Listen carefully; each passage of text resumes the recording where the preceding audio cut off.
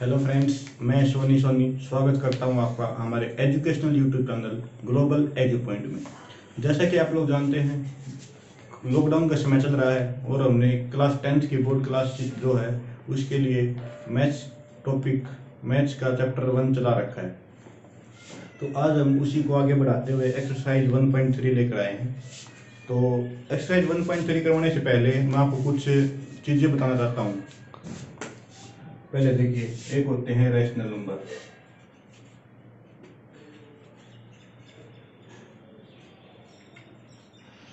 Rational number ये आपको होना चाहिए कौन से होते हैं रैशनल नंबर कौन से होते हैं? रैशनल नंबर इनको हिंदी में प्रीमे संख्याएँ बोलते हैं। कौन सी? प्रीमे संख्याएँ। वो संख्याएँ जिनको हम पी बटे क्यू की फॉर्म में लिख सकते हैं। पी बटे क्यू की फॉर्म में लिख सकते हैं। लेकिन एक कंडीशन है यहाँ पर कि Q not equal to zero Q की वैल्यू ज़ीरो नहीं होनी चाहिए? आपको पता होना चाहिए कि यहाँ पर अगर क्यू की वैल्यू ज़ीरो होगी, नीचे अगर ज़ीरो हो गया तो कुछ भी संख्या, कोई भी संख्या मैंने मान ली टू ले लिया टू बटे में ज़ीरो टू बाई ज़ीरो दो बटे ज़ीरो इसकी वैल्यू नॉट डिफाइंड या फिर आप इसको इन्फिनिटी भी कह सकते हैं। इसकी वैल्यू हम निकाल नहीं सकते, ज्ञात नहीं किया जा सकता। इस वजह से यहाँ पर क्या की वैल्यू ज़ीरो नहीं होगी। बाकी कुछ भी हो सकता है। उन नंबर क्या बोलते हैं? रैशनल संख्याएँ प्रीमियर संख्याएँ उसके बाद आती हैं इरेशनल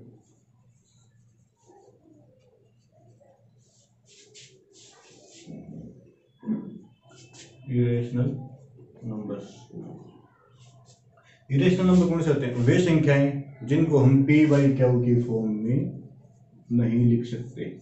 ठीक है? पी और क्या क्या है यहाँ पर? ये चीज़ और पता होना चाहिए पी और क्या इंटीजर्स होते हैं। क्या? इंटीजर्स तो आपको बता देता हूँ इंटीजर्स कौन से होते हैं? इंटीजर्स जिनको हिंदी में बोलते हैं पूर्णांक। ये होती हैं अप्रीमेय संख्याएँ, ये होते हैं पूर्णांक। पूर्णांक संख्याएँ, जैसे कौन कौन से होते हैं? ज़ीरो ज़ीरो से आगे वन, टू, थ्री, फोर, चलते रहे, जहाँ तक जा सकते हैं। और इससे इस साइड माइनस एक माइनस दो माइनस तीन और चलते रहो, जहाँ तक जाया जाए तो ये होते हैं इंटीजर्स यहाँ पर पी और क्या के फॉर्म में जो होंगे वो रेशनल नंबर पी और क्या होंगे इंटीजर्स क्या की वैल्यू ज़ीरो नहीं होगी, ये कंडीशन है अलग से। तो अब हम इसमें एक और आता है।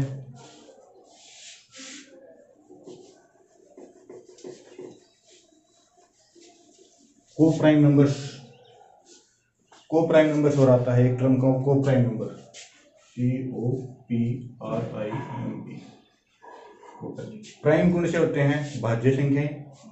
सॉरी प्राइम नंबर्स अभाज्य संख्याएँ। को प्राइम को प्राइम कोई भी दो संख्या है, मान लिया मैंने एक नौ, एक पच्चीस। कोई भी दो संख्या है, इनका जब अभाज्य गुणनखंड किए जाते हैं, अभाज्य गुणनखंड कौन कौन सी होगी? या फिर इनके गुणनखंड किए जाते हैं, ये लिख लीजिए आप गुणनखंड। तो क्या होगा? एक, तीन और नौ। ये इनके गुणनखंड है। इसके गुणनखंड कीजिए, क्या क्या हो सकते हैं? एक, पाँच, पच्चीस। मतलब इनसे भाव हो सकता है ना ये? तो जो भी गुणनखंड आए हैं, इनके बीच कॉमन क्या होना चाहिए? सिर्फ़ वन कॉमन होना चाहिए। अगर दो टर्म्स दो संख्याएँ हैं, जिनके गुणनखंड किए जाते हैं और उनमें कॉमन सिर्फ़ वन आता है। कॉमन सिर्फ़ वन आता है तो वो संख्याएँ क्या कहलाएँगी? वो प्राइम नंबर। ये दोनों संख्याएँ जो हैं, वो प्राइम से अभाज्य जिनमें से अभाज्य जिनमें कॉमन सिर्फ़ वन आया है, एक आया है। उसके बाद हम अपने एक्सरसाइज एक पॉइंट तो फ्रेंड्स अब हम अपना फ़र्स्ट क्वेश्चन करते हैं वन पॉइंट थ्री का। वन पॉइंट थ्री का फ़र्स्ट क्वेश्चन क्या दे रखा है? Prove that and root five is irrational root five जो है, इसको इरेशनल प्रूव करना है। क्या प्रूव करना है? इरेशनल अप्रीमियर संख्या प्रूव करनी है? तो हम स्टार्टिंग किसी कैसे करते हैं? हम इस क्वेश्चन में मान लेते हैं कि let root five is rational हमने इसको एक प्रीमियर संख्या मान लिया इसका कॉन्ट्राडिक्ट ले लिया है, ठीक है? अगर हम रूट फाइव को एक रेशनल नंबर मानते हैं तो यहाँ से आपको पता है रेशनल नंबर्स को पी वाई क्यू के फॉर्म में लिख सकते हैं। तो इस तरीके से मैंने ए बटे बी बराबर रूट फाइव हो गया, क्योंकि तो इसको इस फॉर्म में लिख सकते हैं। यहाँ पर मैंने ए और बी क्या लिया है? ए और बी इंटीजर्स हैं, पूर्णांक है, ठीक है? अब यहाँ से ये पता चला हमें कि ए और बी पूर्णांक हैं इंटीजर्स हैं और इस, ये रूट फाइव के बराबर है, क्योंकि रूट फाइव हमने रेशनल नंबर मांगा। तो रेशनल नंबर है तो ए बटे बी बी एक रैशनल नंबर होगा। ठीक है? ए बाई बी एक रेशनल नंबर रूट और रूट फाइव रैशनल नंबर ठीक है? अब आपको मैं बताता हूँ ए और बी को प्राइम नंबर से भी है। को प्राइम को प्राइम नंबर क्या है, जिनको भाग करते टाइम मतलब आपस में भाग नहीं होंगे ए बी से भाग नहीं होगा। इनके बीच कॉमन सिर्फ़ वन होगा मल्टीपल जो वन है, वो सिर्फ़ वन होगा। वरना अगर कुछ इको प्राइम नहीं होंगे तो ए से बी मान लो कट जाए तो फिर संख्या चेंज हो जाएगी। इस वजह से इनको को प्राइम नंबर भी लेना पड़ेगा, से संख्याएँ लेनी पड़ेंगी। ठीक है? तो A B integers A by B rational number तो root five B rational number prime संख्या अब आपको पता है, अगर ए बी इंटीजर हैं तो रूट फाइव भी इंटीजर होना चाहिए।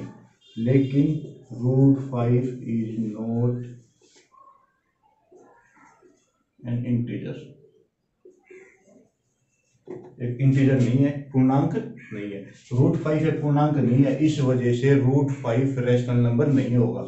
Root five is not a rational, not a rational number root five is not a rational number this implies root five is a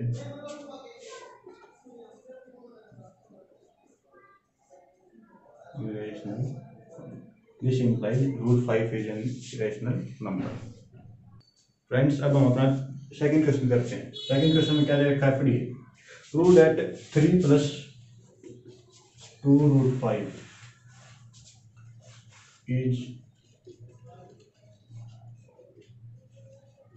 rational जो ये संख्या है, तीन प्लस में दो रूट पाँच, इसको अप्रिम संख्या ज्ञात करना है प्रूव करना है। देखिए, उसी तरीके से, जो पहला क्वेश्चन क्या था, उसी तरीके से हमने मान लिया कि रूट थ्री प्लस में टू रूट फाइव तीन प्लस दो रूट पाँच को क्या मान लिया? एक रैशनल नंबर मान लिया। रैशनल नंबर मान लिया? अगर इसको मैं रैशनल नंबर मानता हूँ तो क्या लिख दूँगा? ए बटे में बी बराबर तीन प्लस में दो रूट पाँच। ये होगा। इसी को आगे बढ़ाते हुए। तीन इस साइड प्लस का है, इस साइड आगे माइनस का। तो यहाँ से दो रूट पाँच, बराबर किसके हो गया? ए बटे में बी माइनस में तीन। ठीक है? ये बात आपको समझ में आ गई होगी। उसके बाद देखिए। यहाँ पर इनका एल्शियम लेंगे हम। दो रूट पाँच बराबर। इनका एल्शियम लिया तो क्या आ गया? ए माइनस में तीन बी बटे में बी ठीक है? उसके बाद क्या होता है यहाँ पर? जो दो ही साइड मल्टीप्लाई में है, गुणा में है वो इस साइड आगे भाग में हो जाएगा। क्या बन गया? ए माइनस में तीन बी बटे में दो। ठीक है? बराबर रूट पाँच के। ये वैल्यू आ गया हमारे पास।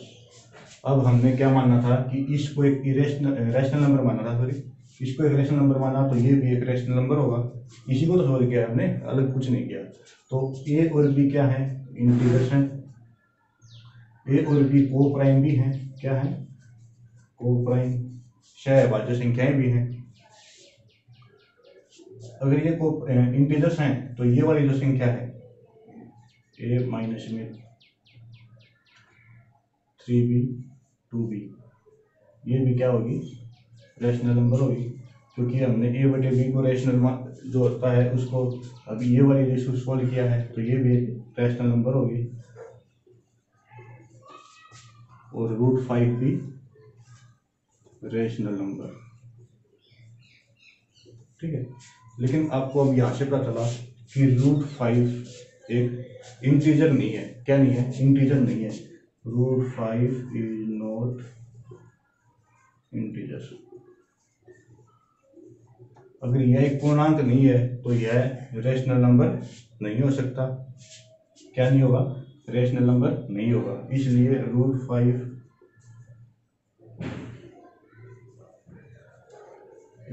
इरेशनल नंबर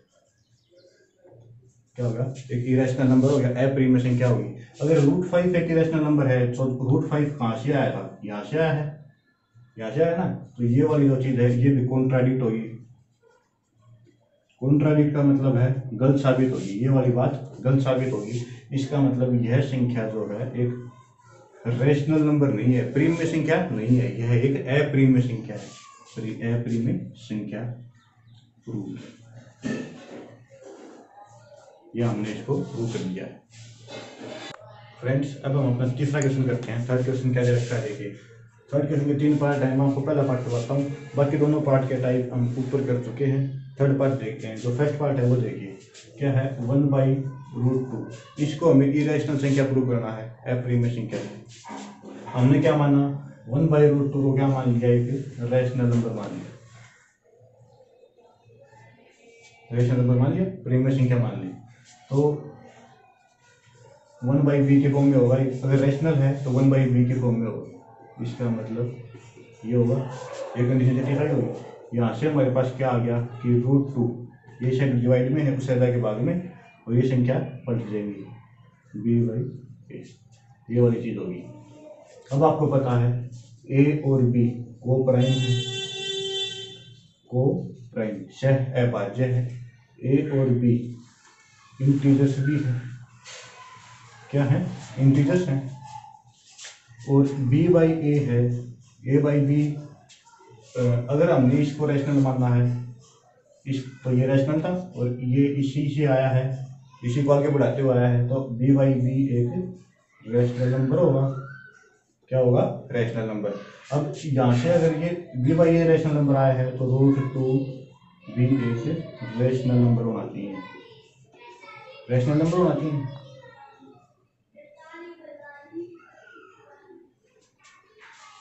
रूट टू भी एक रैशनल नंबर होना चाहिए लेकिन आपको पता है root two is not an integer